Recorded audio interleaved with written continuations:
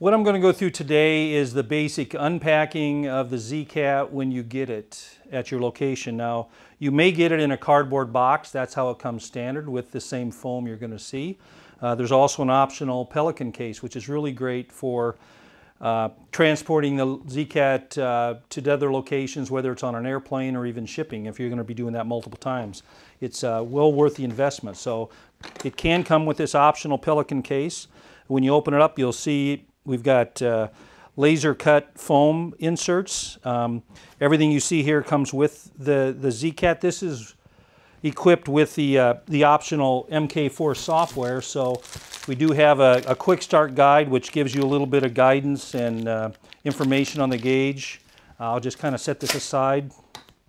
Um, one of the keys to the ZCAT is while it is a precision tool, it's very robust for shop conditions, but we also want to be careful in handling it. It is portable, therefore pretty much anybody can pick it up and move it around. Um, there is a handle on the top, which is good for lifting it. There's also two beams on the side, which are very handy for lifting it. However, you never want to lift it by the cross arms, uh, which is uh, part of the, the, the measurement system. So I'm going to grab this because of the location I'm in, I'm going to grab by these two beams just underneath and I can lift it up and I can just support it. Like I said, it weighs 30 pounds. I'm going to set it on my table. That's how easy it is to take out. Uh, there were the buttons that are on the side that always, when it's in the packaging, is, is uh, on the upward position. But, but the ZCAT is now in, in, in position and the, the first thing we want to do is take out uh, this little packing piece, which allows the ZCAT to hold it in a, in a certain location, the, the, the arms. I'll put that back in here. We also have the AC adapter. Every ZCAT comes with that. Um, every ZCAT comes with an Ethernet cable. Um, the uh, ZCAT has a standard Ethernet connection. Uh, we do have optional Wi-Fi connection. If you do have a Wi-Fi unit, you'll notice on the side, there's in this case, there's a little hole. That's where the antenna for the Wi-Fi would come out. But uh, this is an Ethernet version. This is the uh, MK4 software. If they've ordered the optional software, that will be there.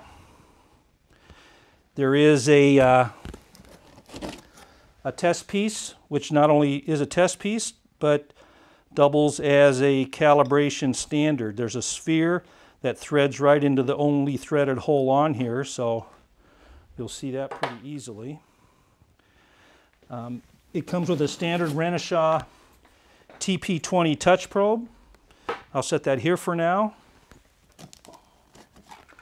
There's a little metal case here that will hold the, uh, it says right on the top there's an SD card adapter a ZCAT wedge software. So every gauge comes with that as well. So you might ask what that SD card adapter for is for. Um, if there ever is an upgrade in the ZCAT, we can send it to you via email. You can download it onto an SD card, which is in the top of the ZCAT. A lot of people don't have a, an adapter, so we include that. Uh, you can download that onto there and we can install new software because the ZCAT does have free software upgrades for the life of the machine. Every ZCAT does come with a ZCAT Wedge software, so it's just on a, a memory stick. So that's something to load onto your PC. Uh, this is the key or the dongle for the MK4 software. Since we do have that, I'll set that here as well. So that's everything that's in the case. Um, so this is a reusable case, whether you get the cardboard box or the Pelican case, obviously that's reusable. But the cardboard box has the same exact foam inserts in it. Uh, it can be reusable. Do not throw it away. You'll need it to ship it back for calibration or if there's ever service needed. Now let's talk about what we do with the ZCAT after it's out of the box. So um, obviously the first thing we need to do is put the touch probe on. So again, it's a standard Renishaw TP20 touch probe. There's a few other things that come with it. I'll leave those in there for now. There's not going to be anything that we need to do. Um, it is magnetic, so it's uh, very easy. Now, it comes installed with two stylus, uh, a horizontal and a vertical stylus. Um, and if you look closely, you may or may not be familiar with these, but uh, there's a triangle, there's a square, and there's a sphere on here, and those will actually coincide exactly with a triangle, a square, and a sphere on the holder, and it will magnetically just go on, and as soon as it clicks in place, you're ready to go.